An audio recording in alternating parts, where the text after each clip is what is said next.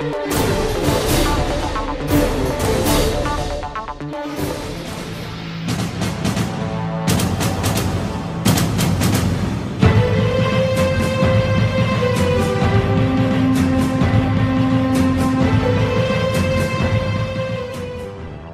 marta 2003. godine izvršen je atentat na premijera Srbije Zorana Đinđića.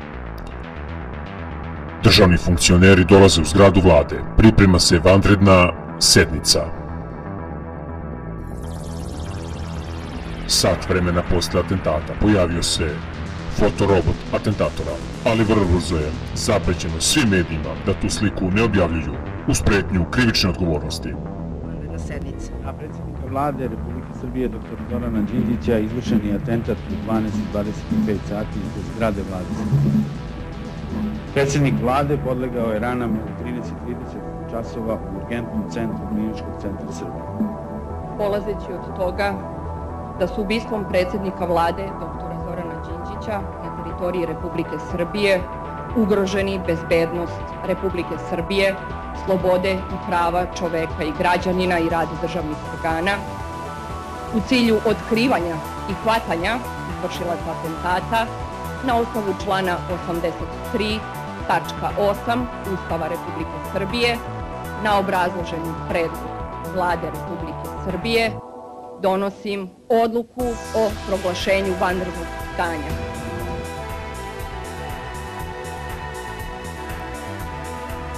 Iste večeri vlada za atentat optužuje vođe Zemunskog klana. Milorada Lukovića Legiju, Dušana Spasojevića Duću i Mileta Lukovića Kuma. Objavljene su njih fotografije i poternica i izdati su nalozi za hapšenje.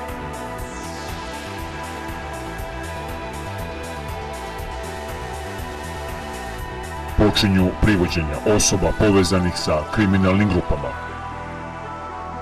Policija upada u kuću vođe Zemunskog klana Dušana Spasojevića u Šilerovoj ulici u Zemunu.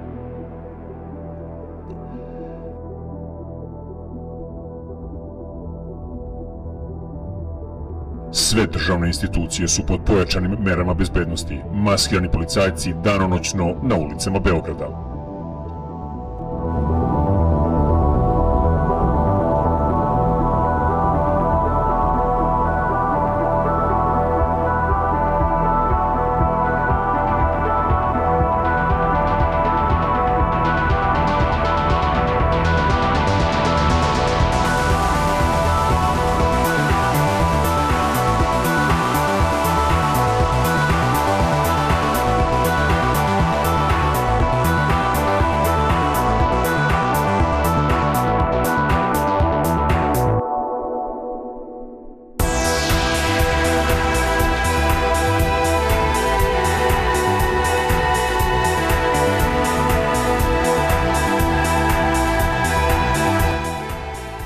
15. marta, posljednja šetnja za premijera Zorana Đinđića.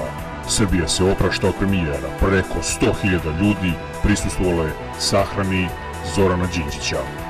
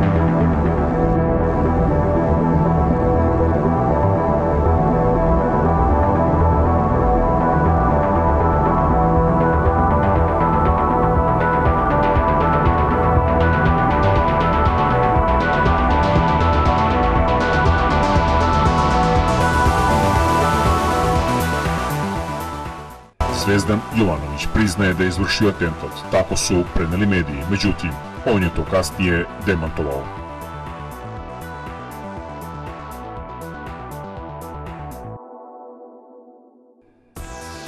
U kamenjaru na Novom Beogradu pronađena je puška Heckler i Koch G3, iz koje je atentator pucao na Đinđića. Rasformirane su crvene beretke, više njih je uhapšeno i optuženo za niz ubistava.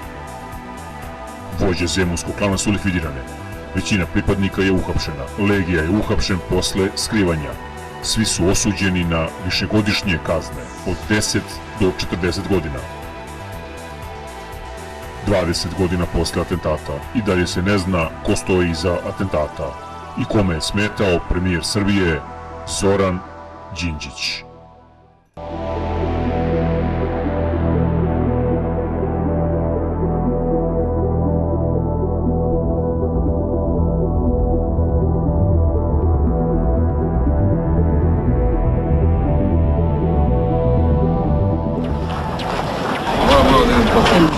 Penzioneri. Dobro, samo naprijed. Dobar dan, dobrodošli. Vesno, dobrodošli, poštovanje. Dobar dan, dobrodošli. Kako se živi ovde? Hvala. Sada je dobro, kako je bilo? Kako je bilo dobro? je. Dragi prijatelji moji. Ratova više nema, redova nema, živo Tako, bolje, a sve dobro, da će Bog. Sad ćemo mi malo da se potrudimo, da malo bolje se organizujemo. Ima mnogo stvari koje bi mogli bolje Ima da dosta uradimo. privremene, privremene burenje. Jeste. Što je koreni prvo? Tako je, malo da se ukopa naša baš, baštica pa da rastice. Proleće. E, to mi milađe. Dobrodošli. Hvala, bolje sam šao. Vidimo se, ja sam cijel dan tu, pa doći večeras. Čujem ženski glas, ne mogu da odolim. Čekamo zašto tamo, zašto ne ovdje. Video, kažu, Drago nam je da ste tu, da nas ne izbjegavate, taman posla. da nema toliko obezbeđenja. Vi ste moje bezbeđenje. Da, obavezno. Žene su najbolje obezbeđenje. Uvijek.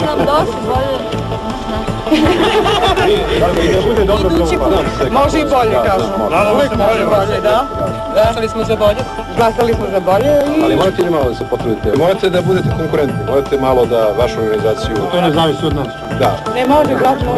Vi ste društveno preduzeće, kako da ne može? Vi ste ovde, vlada ovde može samo da savjetuje, da malo da vidite ako neko nije baš najbolje da ga smenjujete, tražite, dok ne nađete partnera koji će da uloži novac ovde, vi morate da kao mladu neku, da pripremite fabriku da malo lepše izgleda. Kad pogledamo na tamo ulaz, pa ni sad vam ne radi ovo nula.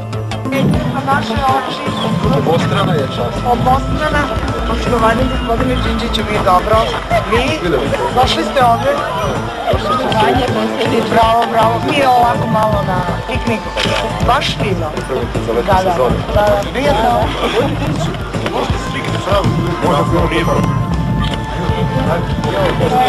Evo, nešto, nešto, nešto. Gospodin neka... Kako neće, mladimo sve postoje. Hvala vam puno. A mogu li da vas pitam, kad će mi biti bolje? Sutra. Ja dođem neku sutra da gledam, da dobijem. Hvala, devčice. A ja sam se vezira penziju. Pa šta da radimo? Tako je. Nitko je valja od Tito, ni Milošević, ni ovi, ja ne znam ko. Pa možda je problem sa vama, ako vam niko ne vodi. Šalim se. Šalim se, šalim se. Prirodno je da mi imamo probleme posle tih deset godina. Drugo, nema sumnje da je mafija pobeđena u ovoj zemlji sistemski. I treće, imat ćemo izvesno vreme i dalje te probleme i mi kao nosioci projekta suzbijanja organizovanog kriminala bit ćemo ugroženi. I najvažnije je da se shvati da ovaj projekat nije nekakav, nekakav lični projekat i ako neko lično nestane a, a, sa, sa, sa, sa, sa zemaljske kugle, da je onda ugrožen projekat. Ovo je jedan, jedna koncepcija promjene sistema koja ne zavisi od pojedinaca.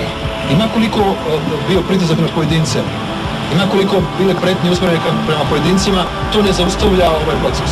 Znači, proces čišćenja zemlje od kriminala ide svojim tokom, bez obzira da li mafija sutra izvrši neki atentat ili izvrši. I mislim da je iluzija ako neko veruje da će atentatom ne- nekog pojedinca da zaustavi istoriju. Istorija u Srbiji više ne može da se zaustavi.